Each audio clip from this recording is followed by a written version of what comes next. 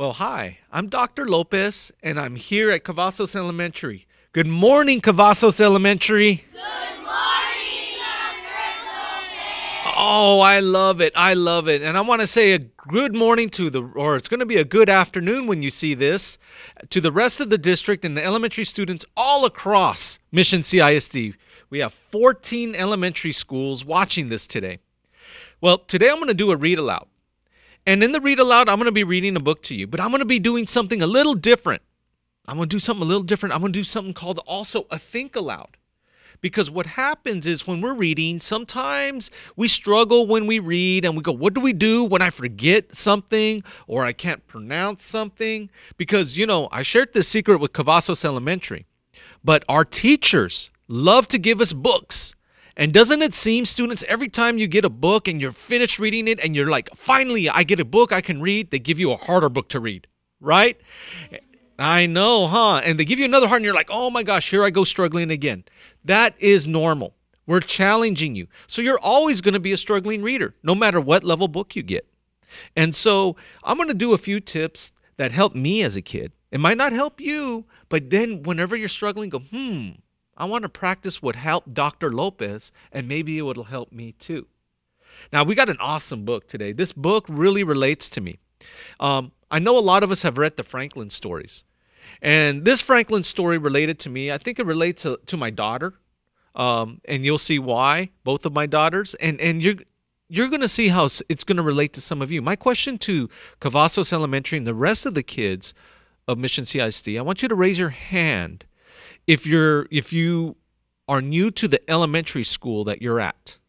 If you're new to the elementary school you're at, raise your hand. Raise your hand if you've attended more than one elementary school. Raise your hand. Okay. So this book is going to be really relating to making new friends, how sometimes people feel when they go to a new school. When I was little, my dad was in the military, and we would move from school to school to school.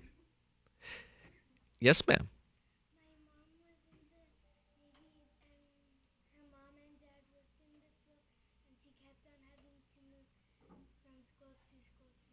Wow. So your mom moved a lot too, you see? And so it's normal. This book relates to everybody. And who knows, maybe one day you'll move to a new school too. So I'm going to read this this book, and it's called Frank, Franklin's New Friend. And we know a lot of good things about Franklin. We know Franklin's a cool turtle. We know Franklin is friendly. So when we get these books, we already have an idea of the characters that are already in the book. If you haven't read a Franklin book, I suggest you pick it up because all of his books are really, really fun. Would you not agree? Yeah, yeah. So we're going to read Franklin's New Friend. And remember, I'm going to be thinking aloud as I'm reading. Okay? So when I read, there's certain things I'm going to say to myself.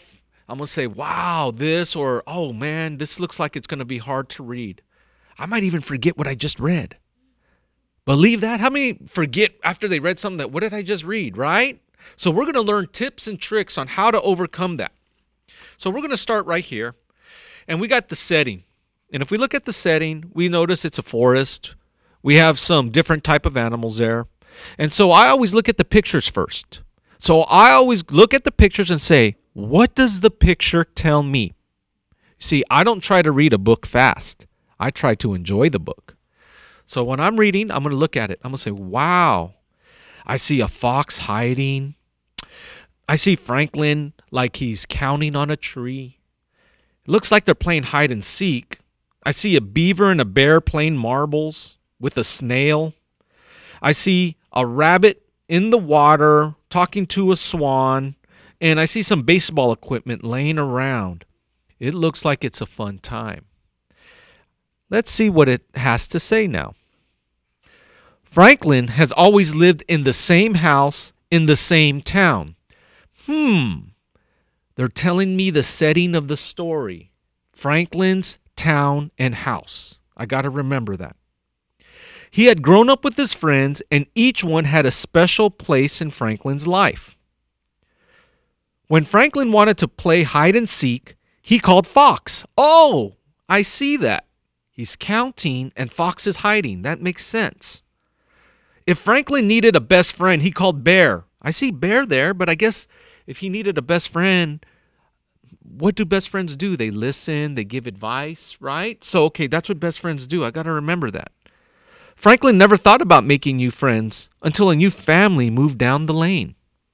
So, we see a family moving in, okay? And he never thought of making new friends. So, do you really think he wants to make friends with these people at this time or not yet? Not yet, because he has all the friends he needs. He's thinking, I have all the friends. I have my hide and seek friend. I have my bear best friend. I don't need more friends. So he's not thinking about that yet. Hmm. Good, good. So now I'm looking at the picture again. I see bears moving in. And if I see bears moving in, that means it must be big, heavy furniture, right? Because if it was, if they didn't need big, heavy furniture, maybe they'd have mice moving in, right? Or somebody else. But they got big bears. And they're moving into a house. And, you know, there's Franklin. He's riding his bike and he's like, oh my gosh, what's going on here? So I know Franklin is very curious. That's telling me he's a curious guy. So let's see what it says. Let's see if Dr. Lopez was kind of right putting things together. And look how tiny Franklin looks, right? Look how he's like really small, and that's like this humongous bed, right? So it's like giants moving in or something. I don't know. That's what I'm thinking. Franklin was curious about the newcomers. He rubbed his eyes as the movers unloaded the furniture. The beds were made for giants. Oh, I guess I was right. And the lamps were as tall as trees.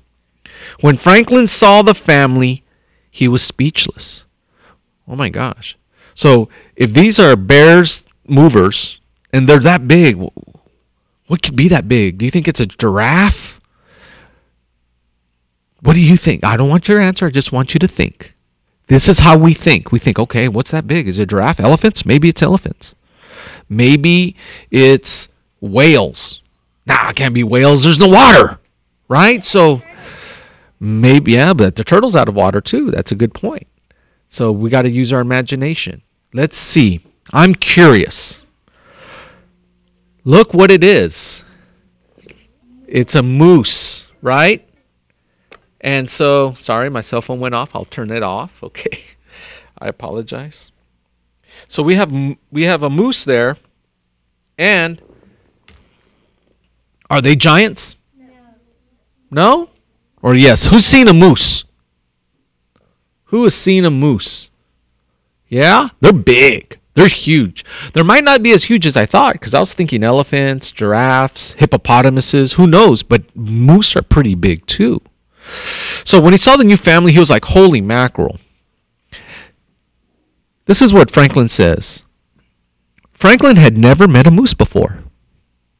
He had heard about moose, he had seen pictures of moose, but he had never actually known one. They were huge. Even the smallest moose was big. Franklin was so scared that he raced home. Sometimes big things scare us, right? You know, and I remember I was a new fam. I, when we were little and I moved, I was usually taller than everybody. You think I scared them? Yes? Well, thank you for that. Okay. You know, you got scared too? It's always scary moving to a new place, right? But Franklin's scared of the new people. He raced home. How do you think they felt? I mean, can you imagine you go meet somebody and they jump on their bike and race away from you? Yeah, that would make me feel like, oh my gosh, do I belong here? That would actually hurt my feelings.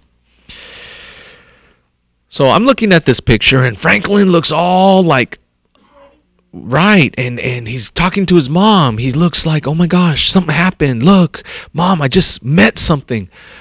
What could it be? Let me read it. A moose family moved in.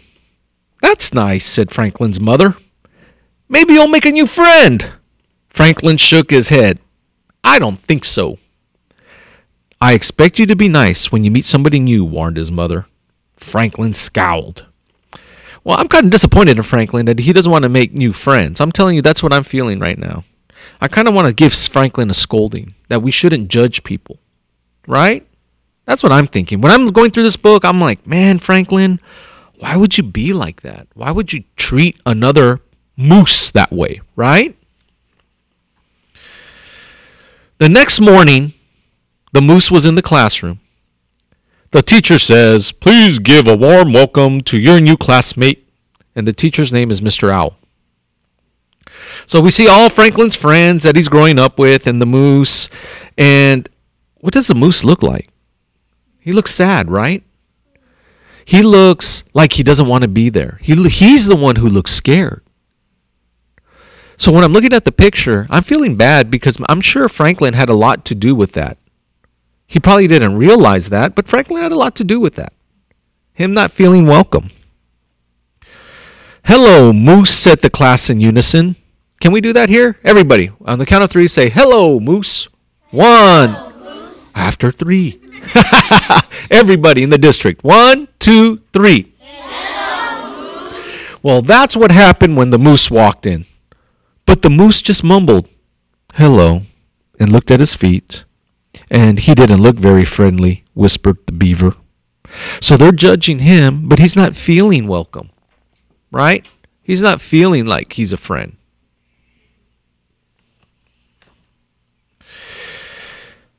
You know, I'm looking at this and I see the moose with his head down and I see Franklin there and I'm wondering what's happening now.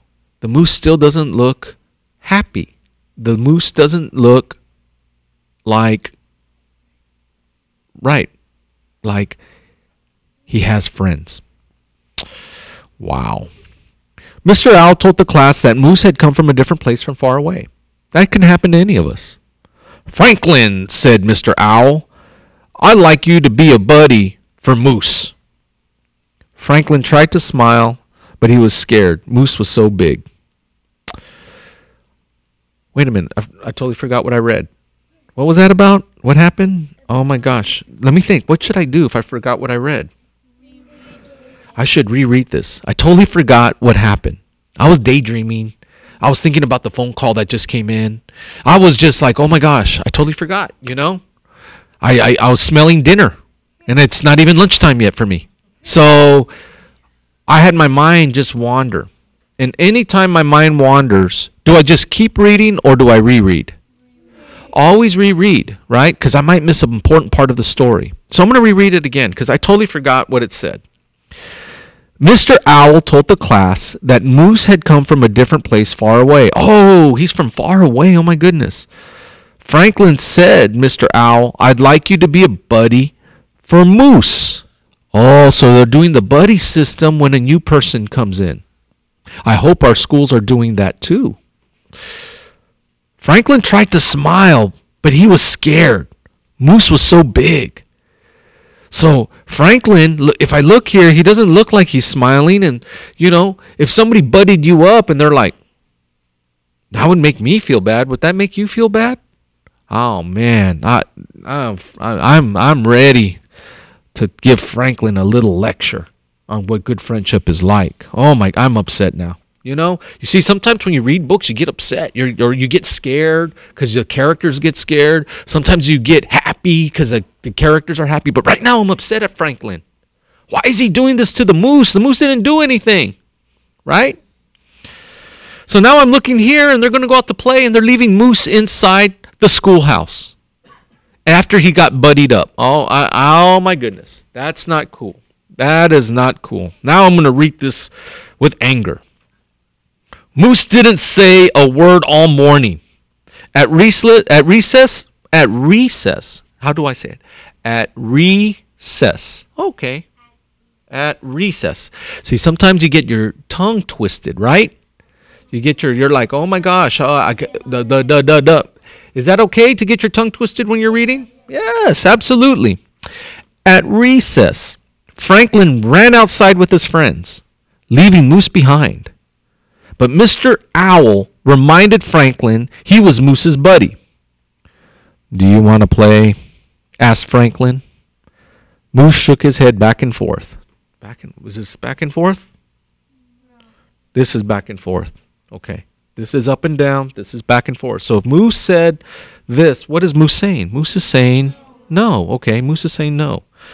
Franklin was relived, relived, re, relie, relieved. Franklin was relieved. Franklin was relieved. You see, what I did right now is I had a I had problems with a few words here because I got tongue twisted, and then you know I, I, I didn't know if that was relived, but I know there's not a word relived, so I kept sounding it out out loud until it made a word that made sense and it said relieved. And then I repeated that sentence three times, three times till it sounded right. So that way I got good practice so in case it came again. So I said Franklin was relieved. Franklin was relieved. Franklin was relieved. See that? And what does relieved mean? Relieved means Nah, you're calm. You're like, oh, all right on, you know?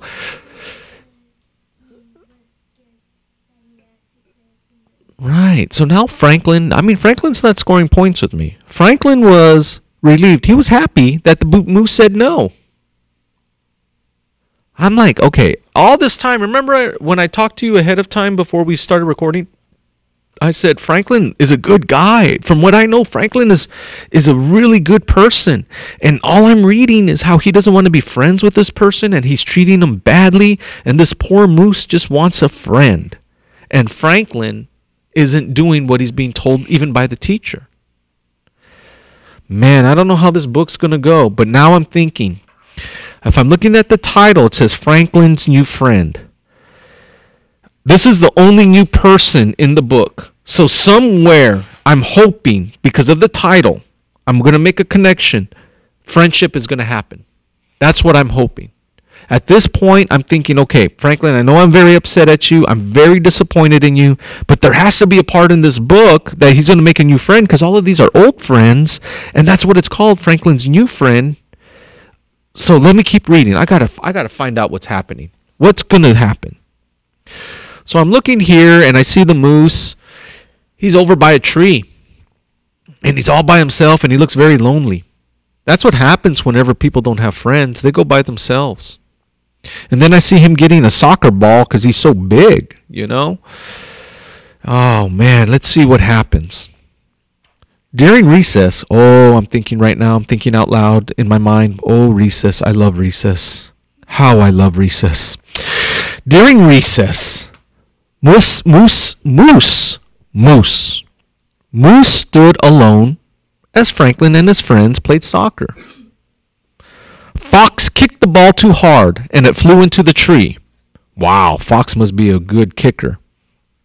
Now we'll have to get Mr. Owl, groaned the bear. You know, nobody likes to call the teacher to chase the ball, right? Because, you know, the teachers don't say, well, why did you kick it there, right? You know, you know how teachers get. I'm kidding, teachers. You do the right thing.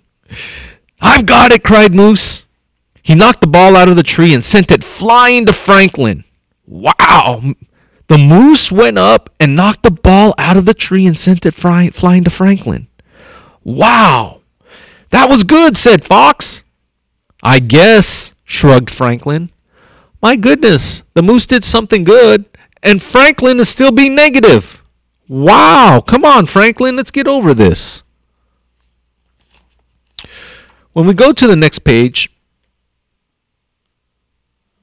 see that? We have back in the classroom, Mr. Owl asked Franklin and Moose to make a poster for the bake sale. I don't need any help, said Franklin. Wow. He doesn't even, I'm thinking, wow, you know, we all need help. It's more fun when you do things together, I think. I don't know. I don't understand Franklin right now. Mr. Owl talked to Franklin alone. Good for Mr. Owl. Good. That's what good teachers do. Try to imagine how Moose feels. He's new and he has no friends here. He's probably scared. Moose can't be scared, said Franklin. He's so big. Mr. Owl looked at Franklin. This is some good word advice. This is a really good teacher. Maybe that's why he's an owl. Holy mackerel. Wait a minute. He's an owl Owls are known as wise. Teachers are wise. Hello. That's why the owl's a teacher. There's a significant meaning with that bird being a teacher. Wise old owls, wise teachers. I get it. Oh my goodness, I made a good connection. I feel good about myself. Moose can't be scared, said Franklin. He's so big. Did you notice I lost my place? Is it okay to lose your place? Yeah, and you go back to the place you thought you were at. So I lost my place. Mr. Owl looked at Franklin and he gave this word of advice Big or little, we all get scared. That is so true. Wise owl, wise teachers, I get it. Franklin thought about that. That's true. Everybody gets scared. Everybody. So you could see the lecture happening. You could see Moose working on his own. Maybe maybe that little lecture from that teacher is going to make all the difference. So now they're working together. I see a different Franklin now. He looks happy, doesn't he? So does the moose. They both look happy. Oh my goodness. I think we finally made a turn here. I can't wait to see what happened. Let me read, let me read, let me read. Franklin got the paints and the paper. Do you want to help me, Moose? Oh, yes, said Moose. I love to draw. They sat side by side and planned the poster together. Franklin realized that Moose didn't seem as big when he was sitting right? When you're sitting down, you're not as big, you're not looking up. And, you know, Franklin was scared of his big height. Moose was scared of not having friends. They were both scared. Big or little, everybody gets scared. That's what the wise teacher said. Wow. Teachers are pretty smart. Well, let's look at that poster. That's a pretty extravagant poster we got there. Then we got this books over here, and we got this playset over here. Heck, I want to go to that school. That's what I'm thinking. That looks like a fun school. I don't see them STAAR testing, right? I know that's funny. All right. Don't blame that on us. That's the state. Okay, guys. So, after much work, the poster was perfect. They both thought so. At library time, Franklin thought Moose. Franklin thought, no, that's not Franklin thought. That's Franklin taught. You see? Sometimes when you're reading, the words play tricks on you. What happens? You think you see a word, but it's a different word. So when I said Franklin thought, Franklin thought, moose, it's not Franklin thought moose, it's Franklin taught moose. Okay? So I'm going to replay it in my brain now. At library time, Franklin taught Moose how to borrow books. Wow, that's what the library is about, right? To borrow books and return them. I, I got this from a library. I wonder what library I got this from. Wow, you guys are smart.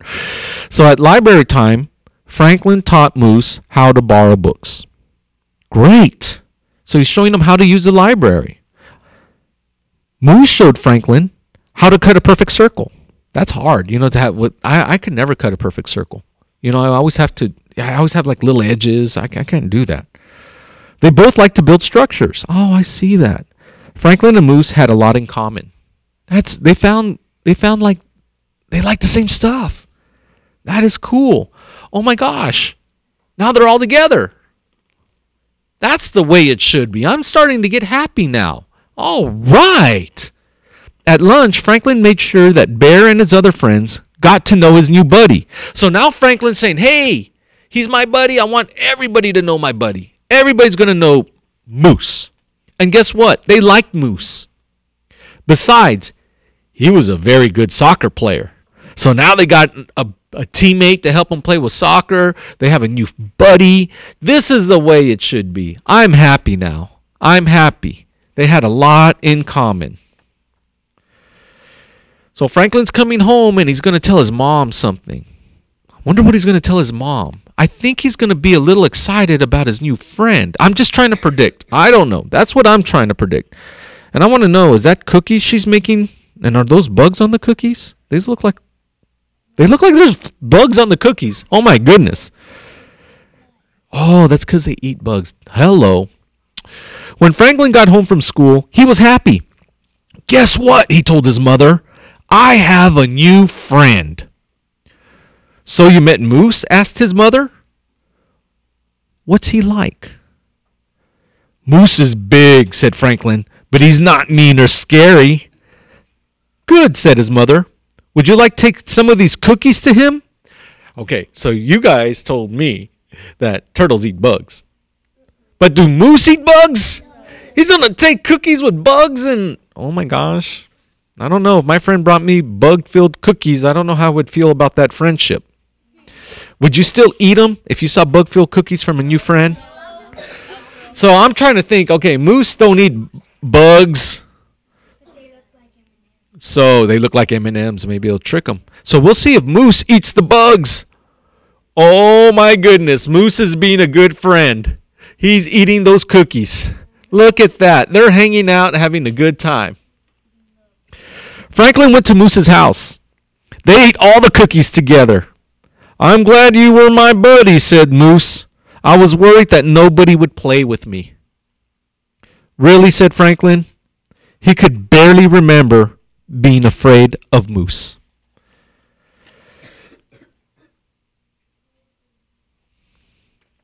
From then on, Franklin and Moose played together all the time. Now, Franklin's new friend was a special friend. The end. So we got a, we got a lot of important elements in this story, right? And I want you to know that I'm okay. I messed up on my story reading. That's okay. Because as a reader, you're going to mess up. I gave you some tips. On some of them, I had to kind of relook at the word and pronounce it over and over again till it made sense, right? And then I repeated it so that way when you repeat it, it gets in your brain and you remember it longer. On another issue, I saw a word that my brain said was another word. It wasn't the right word. It wasn't that I couldn't read it. It was just my brain was saying one thing and I I said that thing and it was the wrong thing. So I caught myself and I went and I reset it again to where it would get right to program my brain. At another time, I totally forgot. I totally forgot what I was reading. I read it again. At another time, my phone rang. I was distracted. I was distracted. Oh my God, my phone's ringing. Should I answer the phone? I was tempted to answer the phone, guys. Because, you know, sometimes things happen, right? The phone rings, the TV's on. I wanted to answer my phone. Did I answer my phone? No, I didn't. Why? Because I had to remain focused on the reading. It would have been very easy if I said, all right, hold on one second. I got to answer this call. You know, because there's important stuff happening in the district. And no, the book was more important. I was so into the book, I really didn't want to put it down. So there was different elements that I wanted to show you on how to stay focused on the book. Did you notice that I was getting emotional about the book? I was kind of getting angry at Franklin. I was kind of feeling what what was going on with the moose. I was feeling bad. That's part of getting into the book. Did you notice I was trying to predict, all right, what's going to happen? I'm looking at the title. I know a friendship's going to happen. That's what you do when you engage with the book. Did you notice that when I was reading the book, I was looking at all the pictures and starting to make connections because most people wouldn't have picked up that Franklin's mom had bugs in those cookies and the moose was eating those bugs, right? But I looked at everything because that's what friendship sometimes does. You do things like that and you're like, well, I got a new friend. I guess I got to eat these bug filled cookies. All of these things are going to help you be future leaders because leaders are readers. And remember, you're always going to struggle with reading because you're always going to have a harder book. And it's okay to make mistakes while you're reading aloud. Don't ever be embarrassed. Don't ever be embarrassed. Your superintendent made mistakes. He had distractions. He did all of these things. And I did this so if your superintendent isn't embarrassed, neither should you be. I'm very proud of this district because all of you are becoming the leaders and readers of all our Rio Grande Valley. You're going to be you're going to be reading more books than anybody else. And later on when you're in college, I hope one day you teach your younger brothers and sisters, family members, just young kids that reading is fun. It's more fun than watching a movie. It's more fun than playing video games because your imagination takes you wherever you want to go and I guarantee you, the more you read, the farther you'll go in life. So it was a very proud moment to to uh, read to Cavazos Elementary. Third grade students, turn around to the camera. Let's zoom out so you can wave and say hi. Look at that. Aren't these students beautiful? On the count of three, we say, Thank you, mission. Keep reading to lead. Ready? One, two, three.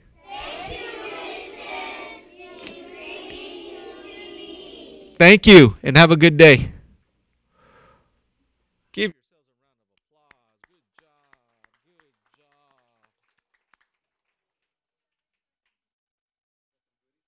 Oh my goodness. Oh my God, from NASA. You guys came from NASA? Oh.